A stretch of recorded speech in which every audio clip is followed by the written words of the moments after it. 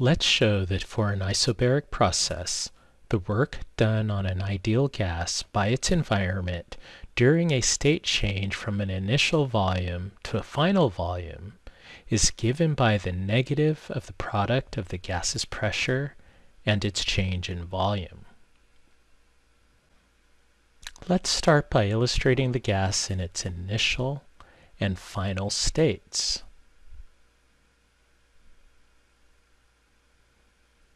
For state A, n moles of the ideal gas starts in initial state A, having an initial pressure P, A, an initial volume VA, and an initial temperature TA.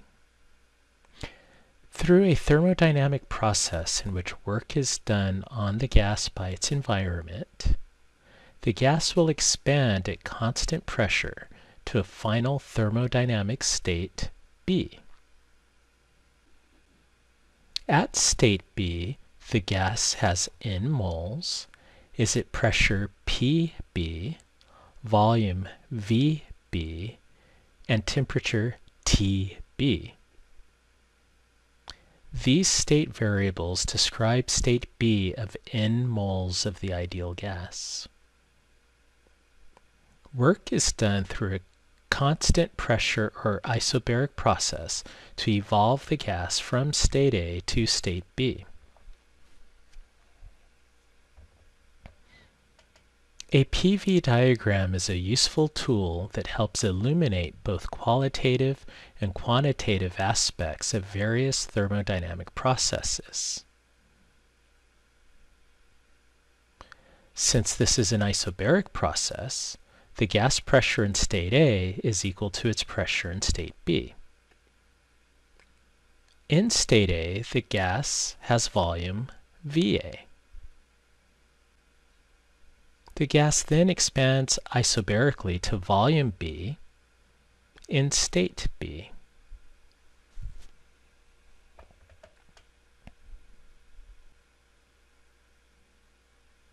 Negative the work done on the gas by the environment is equal to the signed area between the isobaric line and the volume axis.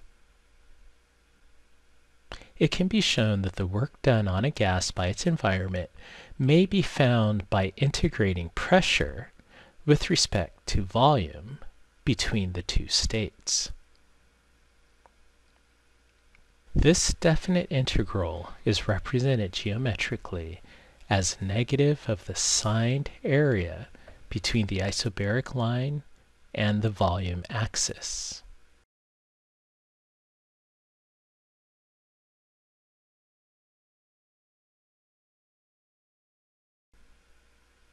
So we can write this as the work done from A to B is equal to negative the signed area.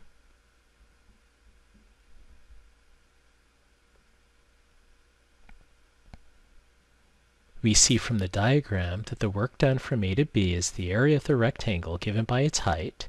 In this case, the height of the rectangle is the pressure in state A times the width. The width of our rectangle is the volume change from A to B. This yields our result that the work done isobarically on an ideal gas by its environment is equal to the negative of the product of the gas pressure and its change in volume.